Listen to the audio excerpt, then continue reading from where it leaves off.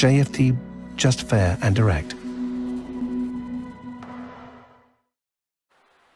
Good morning everyone and welcome to JFD's daily market review for July the 10th.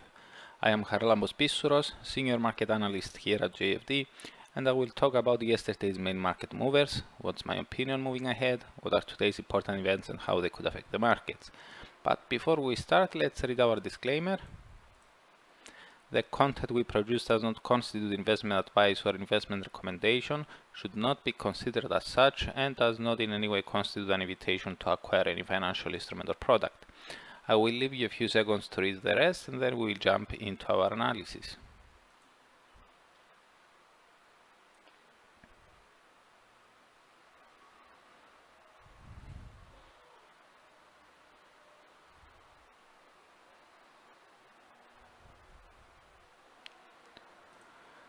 Okay, the US dollar rebounded against all but one of the other G10 currencies on Thursday during the Asian morning Friday. It gained the most against NOK, SEK, the Euro and the Aussie in that order, while the currency against which it lost some ground was the Japanese yen. The strengthening of the dollar and the yen, combined with the fact that the Aussie was among uh, the main losers, suggests that financial markets turned back to risk-off trading. Indeed, turning our gaze to the equity world, we see that uh, most uh, major EU and US indices were a sea of red, with the only exception being Nasdaq. The tech-heavy index rose 0.63%, hitting its fifth record closing high in six days, held by gains in Amazon, Microsoft, Nvidia and Apple.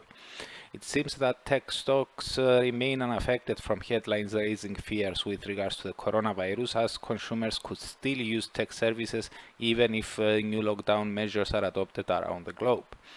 In any case, the negative uh, investor morale rolled over into the Asian session today with Japan's uh, Nikkei 225 and China Shanghai Composite sliding 0.98 and 1.36% respectively. This was the first decline in Chinese stocks in more than a week, Perhaps investors saw yesterday's headlines and developments as an opportunity to book profits after the surge uh, to a five-year high. Now, with infected cases around the globe hitting a new record uh, yesterday, it's not strange why market participants decided to reduce their risk uh, exposure. The US also reported a new record, heightening fears of another round of lockdown measures in the world's uh, largest economy. Several states have already halted or reversed uh, their reopening, with while in Australia, uh, in Australia, Melbourne, the nation's uh, second largest city, has begun a new shutdown. Yesterday we noted that as long as most of the globe continues to ease their first round of restrictions, we would see decent chances for equities to rebound and continue trending north. We still hold that view, but we will turn a bit more cautious now if uh, more nations decide to stop their economic reopening or even uh, reintroduce uh, stay-at-home measures, the global economy may not be able to weather the heat and thus the damages could be much worse this time.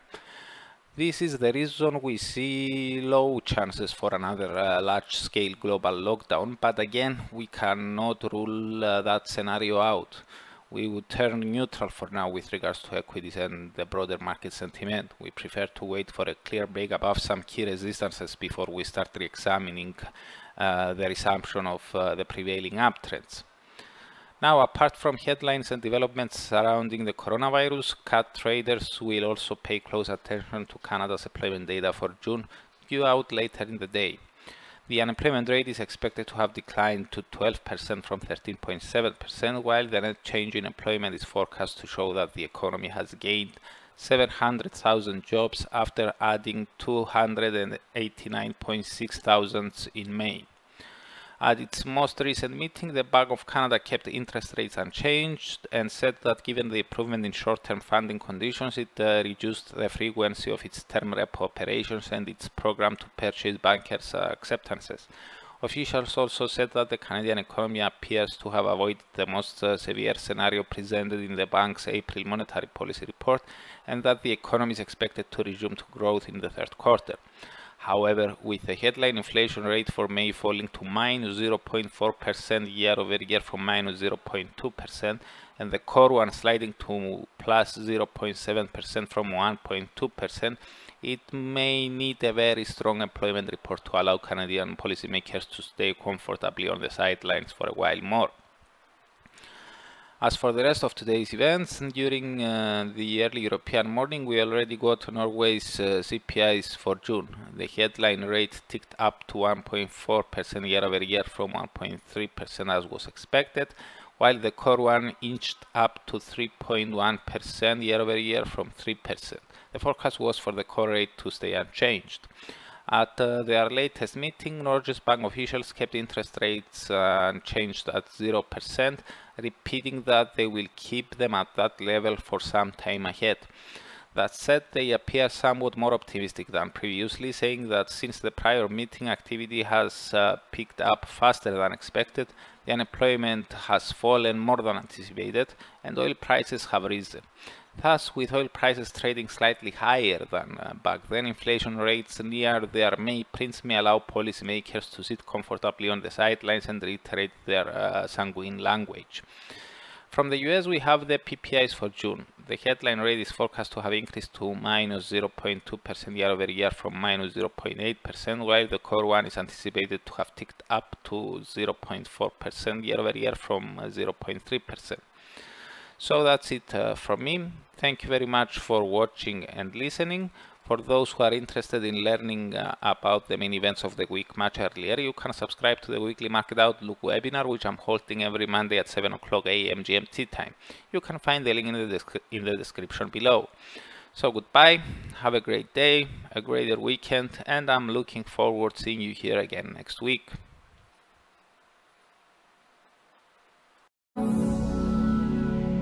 JFD, just fair and direct.